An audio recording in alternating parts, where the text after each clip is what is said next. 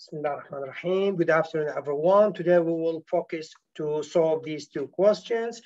Uh, both of them talking about proof and at the same time we will use some uh, tricks math. Let's go directly to the information. Here at this exam example, we have the semiconductor cell, uh, but from sandwich uh, semiconductor cell. Like we're seeing here, we have two terminals. Uh, the current go, uh, go, directly to the positive terminal of this sandwich semiconductor. Uh, let's uh, uh, try to prove the conductivity at dark. That means we don't have any photon, any light, any light energy. Uh, this important note here, we're dealing with intrinsic semiconductor. That's mean the concentration of holes equal the concentration of electrons equal the intrinsic carrier concentration. Here, let's prove this equation.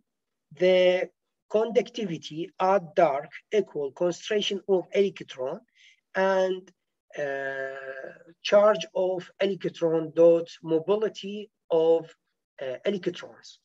After that, let's calculate the conductivity at light. Let's start to solve this question. N intrinsic, N equal P equal Ni, in conductivity, in total conductivity, that means the conductivity at the majority, at the, maybe at the, uh, at the electrons, plus the uh, conductivity at holes. One of them will be majority and the other will be minority. That's not care, uh, that's not important uh, at this question, but I say that just to be known. Uh, now let's go to calculate what does mean, what that's equal the conductivity of electron. That's mean concentration of electron, electron charge dot mobility of electron, and conductivity of hole equal concentration of hole electron uh, charge result dot the mobility of holes. Let's calculate all of them to be conductivity total equal NQE M N plus PQE mobility of hole. Like we're seeing here, we have uh, two common elements because here P equal N because like I said before, we're dealing with intrinsic carrier, intrinsic semiconductor because that we can put N the concentration of electron and the electron charge out the bracket and just calculate the mobility of hole with the electron together inside this bracket. Now let's try to calculate the mobility of hole by using what? By using the equation about the geometrical parameter. The geometrical parameter equal mobi uh, mobility of holes divided on mobility of electrons. By that, we can say mobility of holes equal geometric parameter dot mobility of electron. Let's put these results instead mobility of hole and calculate all of that again. NQE equal uh, dot uh, mobility of electron plus geometric paramet uh, parametrical or coefficient, we can say that uh, all of them have the same meaning, dot mobility of electron. Let's put mobility of electron outside will be one plus geometric parameter inside the bracket. Now we know geometrical uh, parameter, it's small than one because that we can ignore it. The uh, total uh, sorry, the total resistivity, conductivity here at dark will equal concentration of electron dot electron charge dot mobility of electron.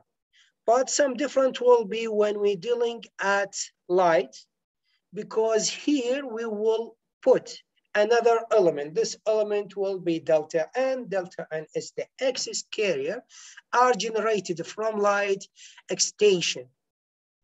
That's mean, uh, and let's note that this is important information. Uh, delta N after the light excitation will be more than concentration of electron because that at the next example, when we will try to solve it, we will ignore it, ignore the end result because it's smaller than delta n. Let's go to solve question number two. Another proof, let's prove it together. Here, the question is calculate the current, the photon current at pure semiconductor, or we can say prove the current photon current equal different potential divided on distance dot uh, electron charge dot mobility drift mobility of electron lifetime of electron power incoming power dot EPH that's mean uh, energy photon energy dot the absorption coefficient. Let's work on this. Here we have a semiconductor cell has two terminals, positively and negatively. And here the independent power source, the current direction from positive, like here.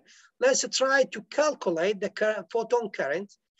We will use the last equation, the total or the generally the conductivity, photon conductivity equal concentration of electron plus uh, delta n, that's the excess carrier concentration from excitation light dot electron charge dot mobility, drift mobility of electron. Like I said before, we will ignore n and I say y. Now, let's say uh, concentration, photon concentration equal delta NQE drift mobility of electron.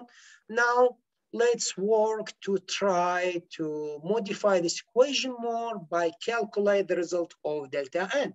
We will use the generation rate. Generation rate equal uh, excess carrier concentration divided on lifetime. What does mean the lifetime? Let's definition it. Like we know, we have uh, energy uh, valence V, uh, EV, that's mean valence energy band and conduction band, energy band, at the up and at the bottom, uh, the, this will be the valence energy band. We have electron, not activation, at the valence band by use the relation, uh, reduction or uh, by using another power supply volt, different voltage to activate this electron or by increase the temperature, this uh, electron will take opportunity to jump to the conduction band. This electron will be to simple time at this conduction band and after that will come back to the valence band and will give it will give us uh, thermal energy or light like lead. Let's come back to our uh, example. By this relation, we can say the excess carrier concentration equal generation rate of electron dot the lifetime of electron. Let's put equation number four instead of excess carrier concentration to be uh, conductivity, photon conductivity equal lifetime dot uh, generation rate of photon dot uh, electron charge dot drift mobility of electron. By Gauss law, here let's work on uh, generation photon generation rate equal flux photon flux one dot between two brackets one minus r r that's mean the refraction between two brackets one minus exponential minus absorption coefficient thickness divided on thickness. Let's let's say this equation I. Let's work to find the uh, flux, photon flux value. Photon flux value equal here. Where is this? Huh? Equal uh, incoming power. His unit is watt divided on area meter squared dot electric photon electric field.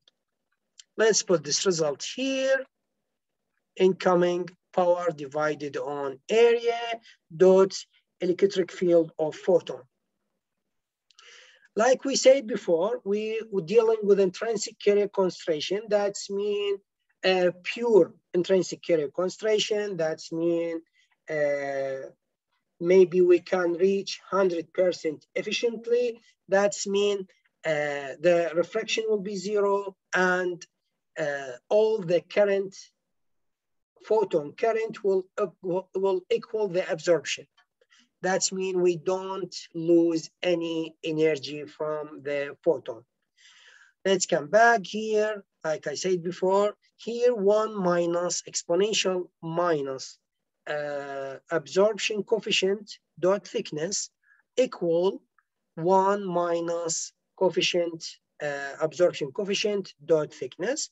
Let's come back to write all of that here at the generation rate equation will be uh, incoming power divided on area dot uh, energy photon energy dot coefficient uh, absorption coefficient. This will be equation number six.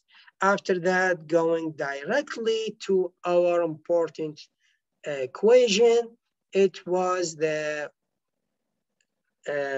we have two kinds of this uh, resistivity photon resistivity equal the lifetime dot the generation rate of photon dot uh, electron charge dot a drift mobility of electron. Let's put equation six instead of gener photon generation rate in equation five to be uh, the conductivity, photon conductivity equal lifetime dot uh, incoming power divided on area dot electric field of photon dot coefficient uh, absorption coefficient dot electron charge dot mobility drift mobility of electron.